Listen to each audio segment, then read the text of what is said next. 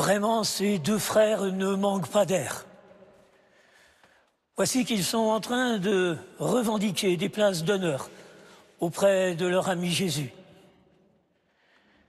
Et une telle demande indispose fortement leurs autres compagnons de route qui font part de leur indignation, car justement peut-être sont-ils eux aussi habités par ce désir tellement humain de reconnaissance. Ce qui est étonnant, de prime abord, c'est que Jésus ne rabroue pas les deux fils de Zébédée. Il accueille avec bienveillance cette demande de Jacques et de Jean, car je crois qu'au fond, il aime les audacieux. Que voulez-vous que je fasse pour vous? Il n'est pas rare dans l'Évangile que cette question soit la première posée par Jésus à ses interlocuteurs. On a parfois trop tendance à l'oublier. C'est commencer par permettre à l'autre d'exprimer la profondeur de son désir. Maître, nous voudrions. Tel est le souhait de Jacques et de Jean, ses vrais amis, dont il connaît l'attachement. Et Jésus entend leur désir, comme il sait entendre le désir de toute personne qui s'adresse à lui pour peu qu'elle ose lui exprimer. Il vient alors les aider à y voir un peu clair dans cette demande, tant ils n'ont peut-être pas compris le véritable sens de sa montée vers Jérusalem.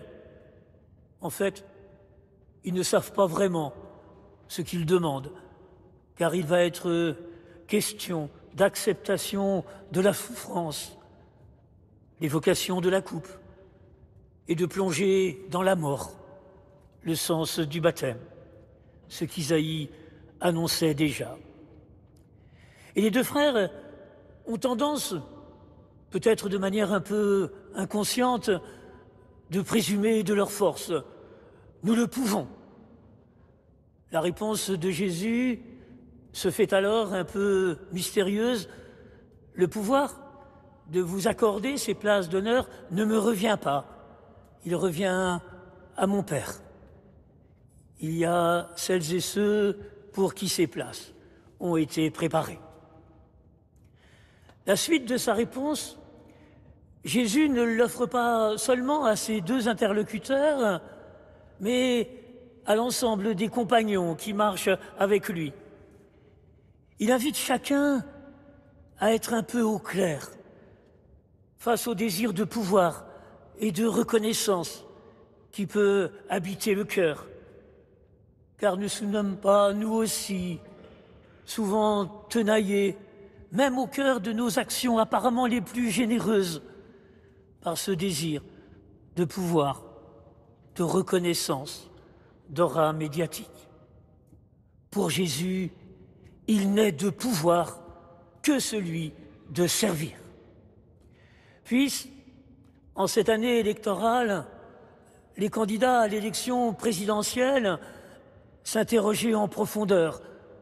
Leur désir est-il de se mettre en avant ou bien sincèrement de servir le peuple Rappelons que le mot ministère signifie étymologiquement fonction de service. Il en va de même dans l'Église. Lorsqu'il est question de ministère diaconal, de ministère sacerdotal, de ministère épiscopal, il ne peut être question que de servir. Combien d'abus de pouvoir, aux conséquences dramatiques pour les victimes, auraient pu être évités si des clercs exerçant une fonction d'autorité auprès des enfants n'avaient pas trahi de manière scandaleuse l'enseignement de Jésus, pour lui, le sens de l'autorité réside dans le sens du service. Comme le dit si bien le pape François, servir plus que toute autre chose, nous rend semblables à Jésus, qui est venu pour être servi, pour servir, et non pas pour être servi.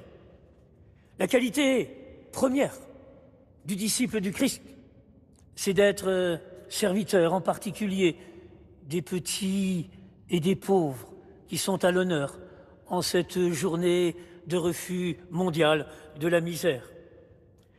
Le chrétien, comme Jésus, est appelé à donner sa vie.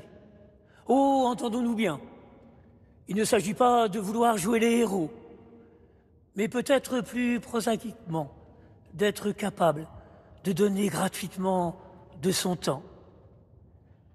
N'oublions pas qu'il est souvent plus difficile d'offrir dix minutes de son temps que de donner dix euros.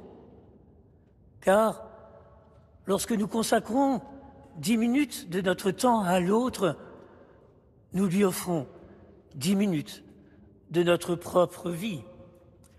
Aimer, et c'est particulièrement vrai dans le couple, dans la famille, comme dans toute communauté, c'est d'abord, je crois, accepter de donner gratuitement du temps à l'autre. Et s'il est un homme qui a parfaitement compris ce message, n'est-ce pas Joseph, le patron de cette église magnifiquement restaurée, cet homme si humble, si discret, à qui Dieu a confié l'éducation de son Fils? Il n'est de grandeur que dans le service. Puisse ce repas eucharistique partagé en mémoire de Jésus qui s'est fait le serviteur de tous, nous donner la force de revêtir notre tenue de service lorsque nous exerçons des responsabilités sans attendre d'autres récompenses comme le chantent à la fin de leur veillée tous les scouts et guides de notre pays, que celle de savoir que nous faisons sa sainte volonté. Amen.